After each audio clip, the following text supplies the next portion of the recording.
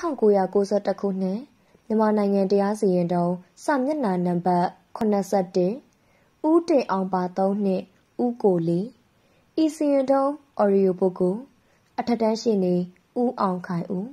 အထက်တန်းရှိနေဒေါ်ပြပြဖြိုးနှင့်တရားလွတ်တော်ရှိနေဦးထိန်လင်းဦးမိသားစုတို့မှစီစဉ်ဆောင်ရွက်ပြီးဒေါ်စိုးစနာထုံးမှဖက်ကြားခြင်းဖြစ်ပါသည်တရမှာပထမအယူခံမှုတရားရုံးချုပ် တရားသူကြီးဦးအေးအောင်ရှိတွင်ဦးတင်အောင်ပါသုံးနှင့်ဦးကိုလီအခွင့်အမိတ်အရနေထိုင်သူကိုနှင်လို့မူနေအိမ်အခိုင်အမာစောင့်လုပ်ခွင့်ပြုခဲ့လျင်မြေရှင်သည်ရင်းနေအိမ်ကိုဖယ်ရှားခွင့်ရှိမရှိဆုံးဖြတ်ချက်အချင်းဖြစ်မြေတွင်ဦးတင်အောင်သည်1980ပြည့်နှစ်တွင်ဦးကိုလေးဤခွင့်ပြုချက်အရတဲအိမ်ဆောက်လုပ်နေထိုင်ပြီးနောက်တကုံးမြို့သို့ပြောင်းရွှေ့သွားခဲ့သည်ထို့နောက် 1983ခုနှစ်တွင် ယခုတည်ရှိနေသော တိုက်ခံအိမ်ကို ဦးကိုလေးထံ ခွင့်တောင်းပြီး ငွေကုန်ကြေးကြခံကစောက်လုပ်ခဲ့ကြောင်း တွေ့ရသည်ရင်းကဲ့သို့ ဦးတင်အောင်က ငွေအမြောက်အများ အကုန်ခံ၍တိုက်ခန့်နှစ်ထပ်အိမ် ဆောက်လုပ်ပြီး1988ခုနှစ်တွင် တိုက်ခန့်အိမ်ကိုဖျက်ပြီး မြေပေါ်မှ ဖယ်ရှားပေးရမည်ဆိုလည်းတရားမျှတမှု ရှိမည်မဟုတ်ချေ ဦးတင်အောင်တို့သည်အ ခွင့်အမိန့်တသက်အရနေထိုင်သူများမဟုတ်ပင်နေအိမ်အခိုင်အမာစောက်လုပ်ခွင့်ပြုခဲ့သဖြင့်မြေရှင်သည်ရင်းနေအိမ်ကိုဖယ်ရှားခွင့်ရှိမည်မဟုတ်ပေရင်းဥပဒေသဘောတရားကို မမင်းသူနှင့်စစ်ဝတ်အမှုတွင် တွေ့မြင်နိုင်ပေသည်ထို့ပြင်တရားရုံးချုပ်မန္တလေးရုံးထိုင်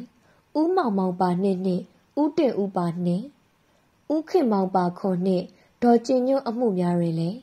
မမင်းသူအမှုတွင်ထုံးဖွဲ့ထားသောဥပဒေသားကို လိုက်နာခဲ့ကြောင်းတွေ့ရသည်အယူခံတရားလိုများအတွက်ဦးမျိုးဆွေတရားရုံးချုပ်ရှိနေအယူခံတရားပြိုင်အတွက်ဦးကျော်မြိုင်တရားရုံးချုပ်ရှိနေတရားရေးအကြံပေးဦးတင်ထွန်းဒုတိယညွှန်ကြားရေးမှူးတရားရုံးချုပ်ကြောက်စင်မျိုးစုကုန်းရက်ကွင်းအမှတ်ရှင်ဥပိုင်အမှတ်နှင့်စရင်ပေါက်သောမြေကွက်ကိုဒေါ်တန်းတင်ဒေါ်ဆန်းဆန်းနှင့် အယူခံတရပြိုင်ဦးကိုလေးတို့ပိုင်ဖြစ်ကြောင်းဦးကိုလေးကခင်မင်းရင်းနှီးသောအယူခံတရလူဦးတင်အောင်နှင့်ဒေါခင်တန်းတို့အား1980ပြည့်နှစ်တွင် အခမဲ့အစောက်အုံဆောက်လုပ်နေခွင့်ပေးခဲ့ကြောင်းမူလကတင်းငင်တလုံးစောက်ခွင့်ပေးခဲ့ကြောင်းသုံးနှစ်ခန့်နေပြီးနောက်ဦးတင်အောင်သည်တက်ကုန်းသို့ပြောင်းရွှေ့သွားပြီးသူဤနှမဝမ်ကွယ်မညိုဆိုသူအားအပ်ထားကြောင်းထို့နောက် လူနေဖြစ်အောင်အိမ်တလုံးစောင့်နေခွင့်ပေးရန် တောင်းပန်သဖြင့်ဦးကိုလေးကခွင့်ပေးခဲ့ကြောင်း1989ခုနှစ်တွင်ဦးတင်အောင်တို့သည် အလုံးမအနားယူပြီးပြန်လာနေထိုင်စဉ်သူတို့ပိုင်မြေဖြစ်သည်ဟုပြောဆိုလာကြောင်းယခုအခါဦးတင်အောင်တို့မနေပဲအယူခံတရလူဦးခင်မောင်မြင့်အားအငှားချထားကြောင်းဖြင့်အဆိုပြု၍ဦးကိုလေးကဦးတင်အောင်ဒေါခင်တန်းနှင့်ဦးခင်မောင်မြင့်တို့အား အချင်းပြစ်မြေပေါ်မှ အဆောက်အုံကိုဖျက်၍ထွက်ခွာပေးရန်မန္တလေးတိုင်းကြောက်စင်မြို့နယ်စုတရားရုံးတရားမကြီးမှုအမှတ်189မြင်းဆောင်88တွင်တရားစွဲဆိုသည်ခြေလွှာတွင်အချင်းပြစ်မြေပေါ်တွင်ဦးကိုလေးထံမှငွေ900ဖြင့်ပေးနေကြောင်းဦးကိုလေးဤအခွင့်အမိတ်အရာနေခြင်းမဟုတ်ကြောင်းအချင်းပြစ်မြေကိုဝယ်ပြီးလေးပင်သုံးခန်းအိမ်ကို 1980ပြည့်နှစ်ကစောင့်နေကြောင်းရင်းနောက်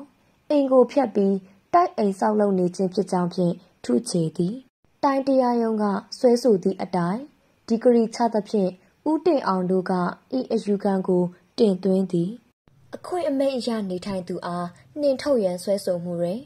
တေးခြားပြဋ္ဌာန်းချက်မရှိ၍မြန်မာနိုင်ငံဆိုင်ရာတရားဥပဒေများအဥပဒေပုံမှ73 3တွင်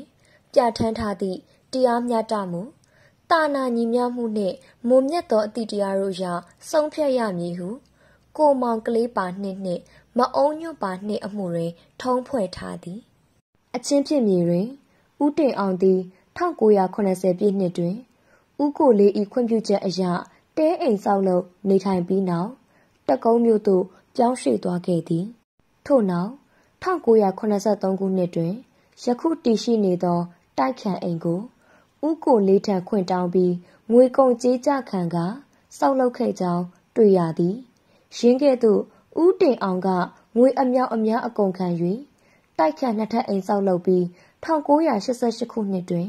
တိုက်ခတ်အိမ်ကိုဖျက်ပြီးမြေပေါ်မှဖယ်ရှားပေးရမည်ဆိုလည်းရင်တရားမျှတမှုရှိမည်မဟုတ်ချေဦးတင်အောင်တို့သည် အခွင့်အမိန့်သက်သက်အရနေထိုင်သူများမဟုတ်ပဲ နေအိမ်အခိုင်အမာစောက်လုပ်ခွင့်ပြုခဲ့သဖြင့်မြေရှင်သည်